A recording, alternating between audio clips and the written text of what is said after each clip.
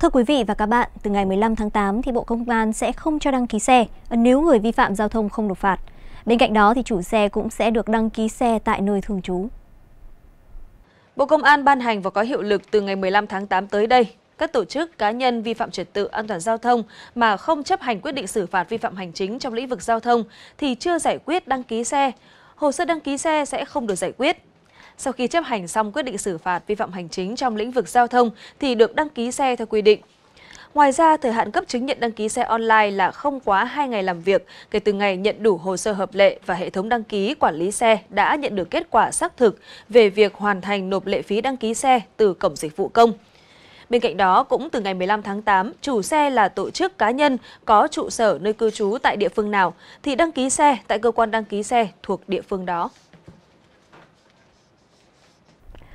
Các nhà khoa học thuộc cơ quan khảo sát Nam Cực, Anh Quốc BAS trong lần khám phá hệ sinh thái biển bí ẩn dưới thềm Nam Cực, đã tình cờ tìm thấy một vùng đất bí ẩn trong suốt hàng trăm ngàn năm. Ở nơi này không hề có ánh sáng mặt trời cũng như không khí. Sau khi phân tích thì các nhà khoa học cho biết vùng đất này không được tiếp xúc với ánh sáng và không khí trong khoảng 120.000 năm. Khi à, tảng băng trôi khổng lồ với kích thước tương đương với bang Delaware của Mỹ vỡ ra thì vùng đất này mới lộ diện. Catherine Lins, một nhà sinh học biển của BAS, chia sẻ. Vùng đất này vốn được bao phủ bởi lớp băng dày tới vài trăm mét. Và được biết là tảng băng A68 bắt đầu tách khỏi thềm Nam Cực cách đây nhiều thập kỷ. Những vết nứt nhỏ xuất hiện trên bề mặt từ những năm 1960 và ước tính tảng băng này nặng tới khoảng 1 triệu tấn. Đến tháng 7 năm 2017 thì tảng băng tách ra hoàn toàn khỏi thềm Nam Cực, trôi ra phía Nam Đại Dương và dần tan chảy, để lộ ra một vùng đất rộng lớn tới 5.800 km vuông.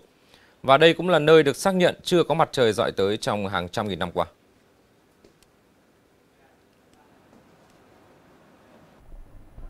Thưa quý vị, mới đây vòng thi đấu chính thức của mùa giải Bilias Karumba bằng quốc tế Bình Dương năm 2023 Cup Number One đã chính thức diễn ra vào ngày 13 tháng 7 vừa qua.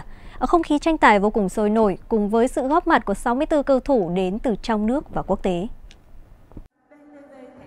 Giải Bia Carom Ba Bang Quốc tế Bình Dương Cúp Number One là giải thi đấu thường niên do Đài Phát thanh Truyền hình Bình Dương, Sở Văn hóa Thể thao và Du lịch tỉnh Bình Dương tổ chức dành cho các vận động viên theo đuổi bộ môn Bia Carom Ba Bang trong nước và khu vực. Năm 2023, Bia Carom Ba Bang đánh dấu chặng đường 11 năm, trở thành sân chơi thể thao ngày càng uy tín, chất lượng, được nhiều vận động viên cùng người hâm mộ đón chờ.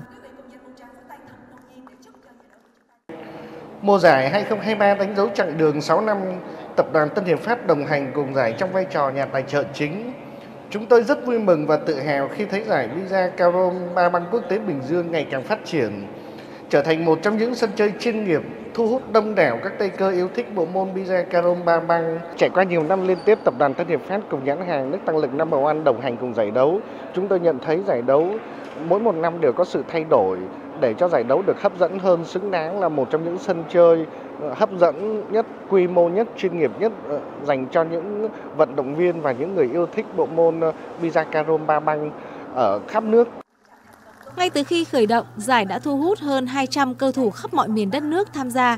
Để tiếp thêm sức mạnh thi đấu cho các vận động viên, tập đoàn Tân Hiệp Phát là nhà tài trợ chính của mùa giải năm nay, mang đến hai loại sản phẩm là nước tăng lực Number One, giúp tăng thêm sức mạnh, tỉnh táo và nước uống vận động Number One, Active chanh muối, giúp bù nước bù khoáng, phục hồi sức mạnh.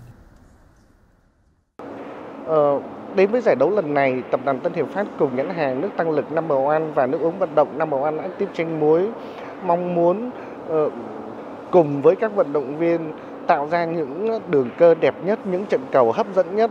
Uh, nhãn hàng nước tăng lực Number One và nước uống vận động Number One Active chanh muối của chúng tôi ờ, không chỉ đơn thuần là một thức uống giải khát dành cho các vận động viên mà còn ờ, giúp các vận động viên tăng thêm sức mạnh, tỉnh táo tức thì và bù nước bù khoáng để ờ, cùng nhau chúng ta tạo ra những trận cầu hấp dẫn nhất, những đường cơ đẹp nhất để cống hiến cho khán giả và tôi xin chúc cho giải đấu ngày càng thành công tốt đẹp hơn nữa.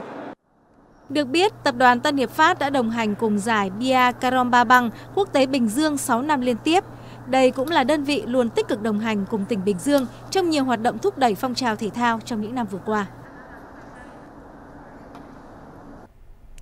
À, thưa quý vị, bà Hiroko Hatagami, một phụ nữ 51 tuổi thất nghiệp sống tại thành phố Matsudo, tỉnh Chiba của Nhật Bản cho biết bà đã thực hiện 2.761 cuộc gọi khẩn cấp vì cảm thấy cô đơn và muốn được chú ý. Mi đã bị bắt trong ngày 13 tháng 7 với tội danh cản trở hoạt động của Sở Cứu hỏa địa phương. Trong khoảng thời gian từ tháng 8 năm 2020 đến tháng 5 năm 2023, bà Hatagami liên tục yêu cầu Sở Cứu hỏa Matsudo cử xe cứu thương đến hỗ trợ mình. Nhưng khi xe tới thì bà lại từ chối được chăm sóc hoặc phủ nhận việc đã gọi điện thoại. Cảnh sát tỉnh Chiba cáo buộc bà Hatagami liên tục thực hiện các cuộc gọi khẩn cấp bằng điện thoại di động và thực hiện cùng với các phương tiện liên lạc khác các cuộc gọi của Hatagami có nội dung xoay quanh các vấn đề sức khỏe bịa đặt, bao gồm chứng đau dạ dày nghiêm trọng, dùng thuốc quá liều và đau chân. Ngày 20 tháng 6, Bộ phận Dịch vụ Khẩn cấp của Sở đã nộp đơn báo cáo thiệt hại cho cảnh sát, dẫn đến việc bà Hatagami bị bắt giữ. Tại cơ quan điều tra, Hatagami thừa nhận các cáo buộc, nói với các nhà điều tra rằng bà làm như vậy vì muốn có ai đó lắng nghe và quan tâm mình.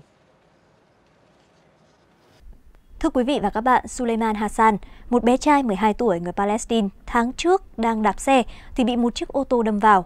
Cậu bé ngay lập tức được đưa vào phẫu thuật trong khoa chấn thương. Các bác sĩ cho biết cậu bé bị đứt đầu ở bên trong, tức là phần hộp sọ của cậu bé gần như tách rời hoàn toàn khỏi cổ.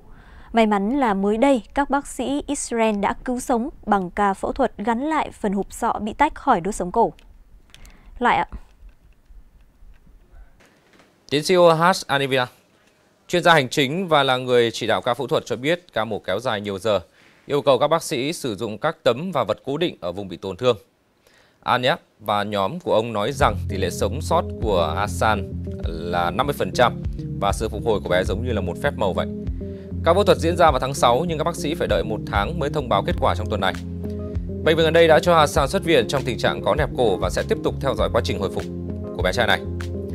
Người cha của Hassan không rời khỏi giường bệnh con trai trong suốt quá trình hồi phục. Ông bày tỏ không có gì ngoài lời cảm ơn sâu sắc dành cho đội ngũ y bác sĩ. Và tiến sĩ Anep cũng nhấn mạnh ca phẫu thuật này cực kỳ hiếm gặp. Trẻ có kích thước đầu lớn bằng gần người trưởng thành càng dễ bị tổn thương hơn.